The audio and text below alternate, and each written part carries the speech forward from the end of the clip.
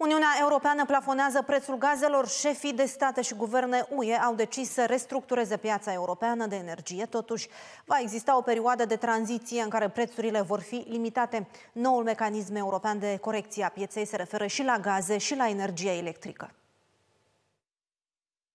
Șefii de state și guverne ale Uniunii Europene s-au reunit la Bruxelles și au acceptat propunerile făcute de Comisia Europeană. Reformarea pieței de energie e un proces care va dura. Consiliul European a stabilit doar direcțiile generale, solidaritate și achiziții comune, plafonarea prețului la gaze pe piața europeană și ieftinirea gazelor destinate producerii de electricitate. Conseil européen qui est central. A fost o reuniune esențială a Consiliului European pentru că a dat acest cadru exact, care de acum înainte are și o listă de măsuri ce vor trebui dezvoltate ca să avem cât mai repede un rezultat pozitiv pe cele trei priorități. Scăderea prețurilor, suntem hotărâți să facem acest lucru. Securitatea aprovizionării, suntem hotărâți să facem acest lucru și suntem hotărâți să continuăm să lucrăm pentru a reduce cererea.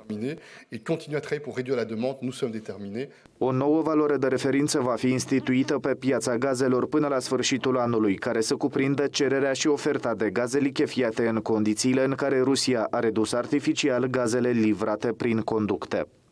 And for the meantime, we are uh, going și între timp urmează să stabilim un mecanism de corecție a pieței, anume pentru a limita exagerările de preț la gaze și pentru a ne asigura că există o regulă clară la formarea pieței. Și aici vom colabora cu ministrii energiei pentru a prezenta propuneri legislative de operaționalizare a acestui mecanism de corecție a pieței. Market correction mechanism.